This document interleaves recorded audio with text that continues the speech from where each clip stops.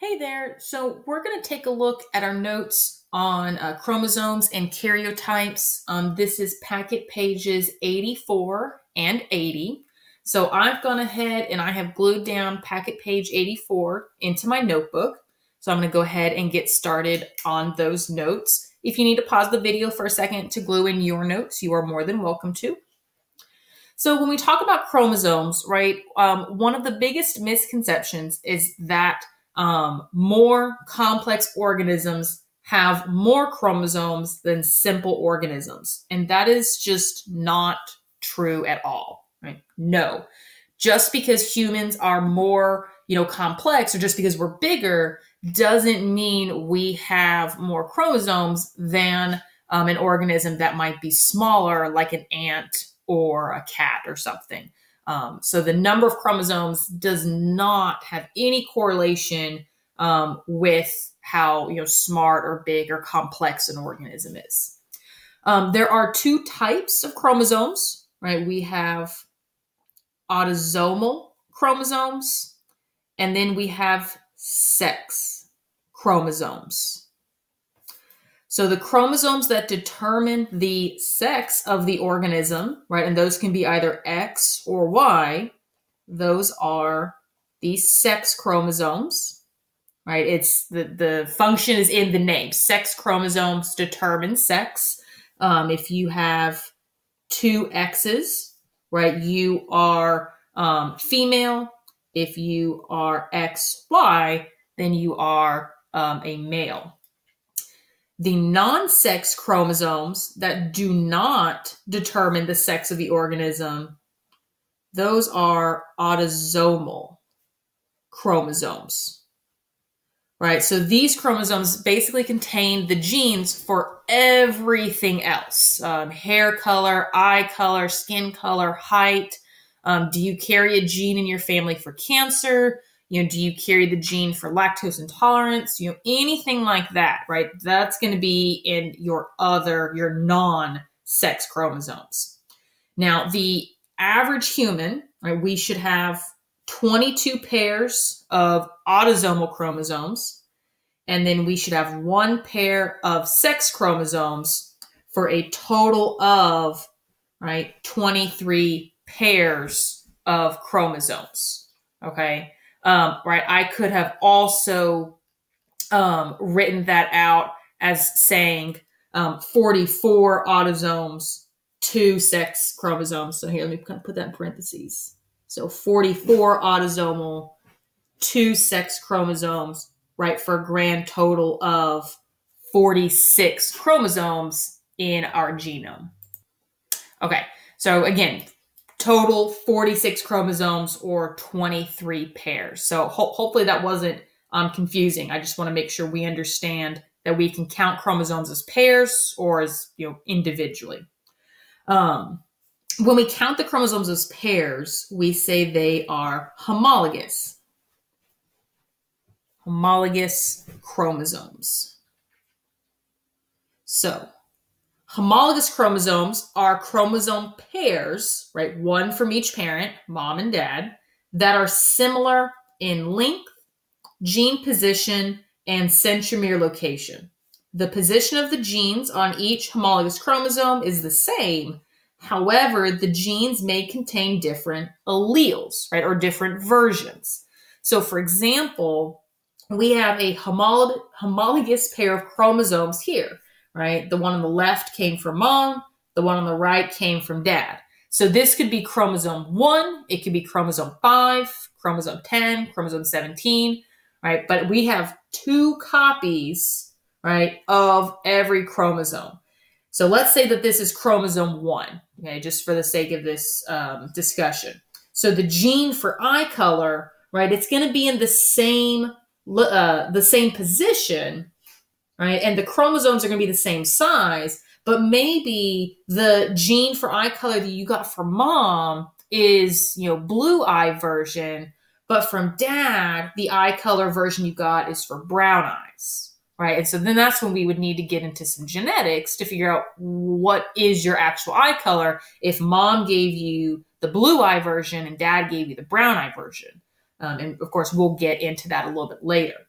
But homologous chromosomes, right, they are just the same pair of chromosomes, so chromosome one. And so they contain the same genes, just different versions of those genes. Over here on the right, um, we're talking about karyotypes. A karyotype right, is a photograph of all the chromosomes in a cell for that organism.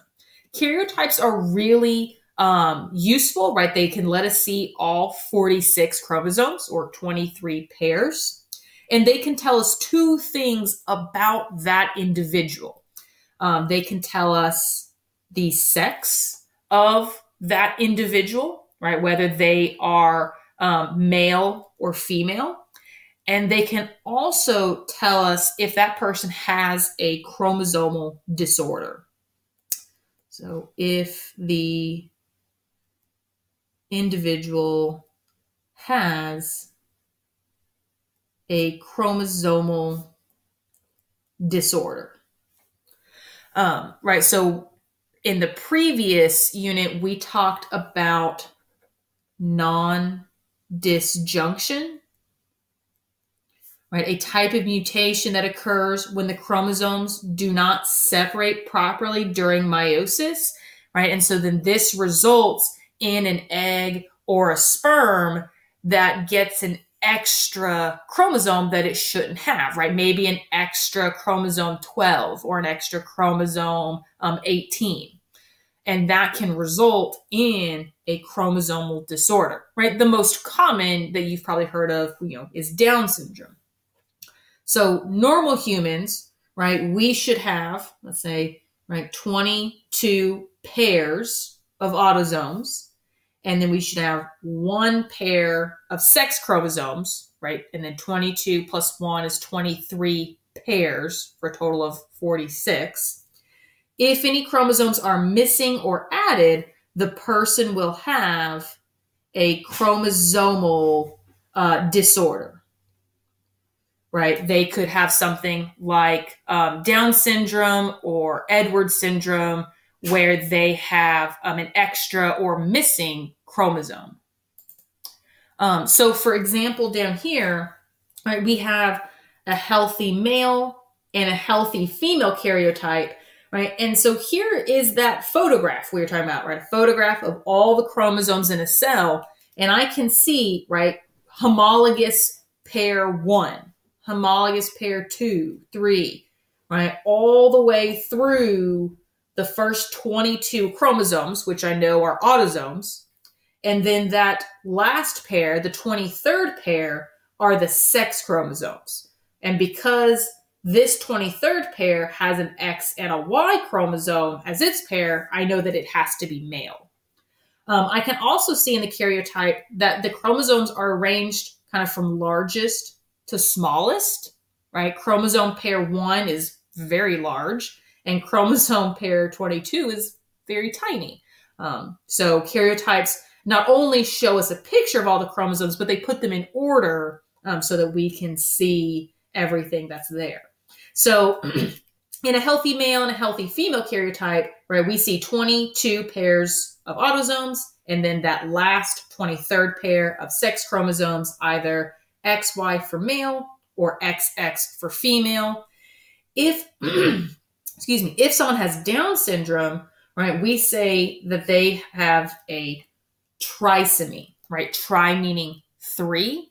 So trisomy 21, right? Here's chromosome 21. And we can see they have an extra copy of chromosome 21.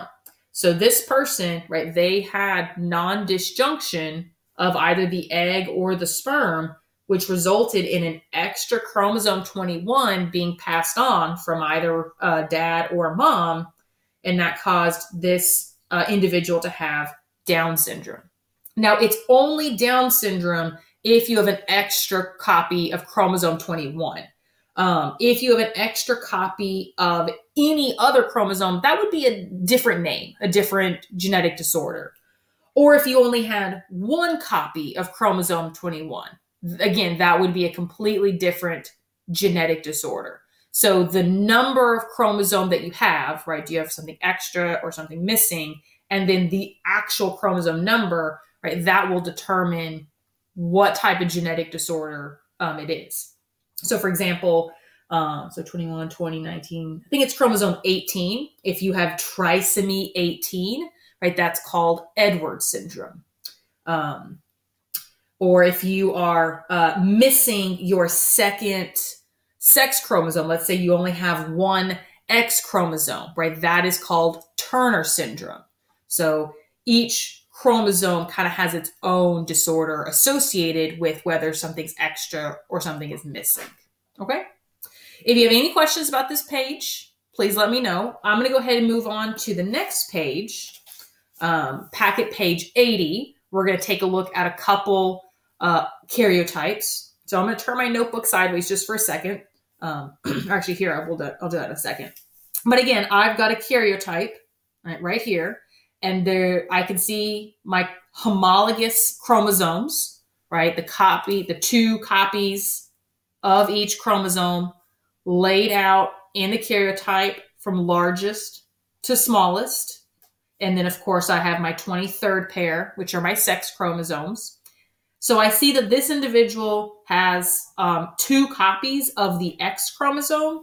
So this would be a normal female. That's why I was wanting to turn my notebook sideways.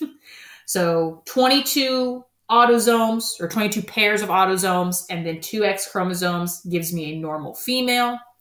And then down here below, again, I see 22 uh, pairs of autosomes. This individual has a Y chromosome and an X chromosome, so they must be a normal male, right? Because they have an X and a Y. And then our last karyotype over here on the right. Uh, we want to know what is the sex of this person, and we know that that right 23rd pair of chromosomes, right? Those are our sex chromosomes. This person has two X chromosomes, right? There's nothing over here in the Y spot. So I know that this is a female.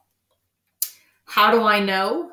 Um, because there are two X chromosomes. And then will they have any disorders? And how do you know? So if I take a look at my homologous pairs, right, I see so far everything has just two copies like it should, uh, except for right here. So there's an extra chromosome 21. So will they have any disorders? Yes they will have Down syndrome, right, which we know is also called trisomy 21 because there is an extra copy of chromosome 21 right? There's three copies when there's only supposed to be two so that's it for our notes here on karyotypes and chromosomes. And again, this was packet page 80 and 84 that I put into my notebook. Um, make sure you take a picture of your notes and submit them to Canvas. If you have any questions or concerns about these notes, please let me know. Thanks.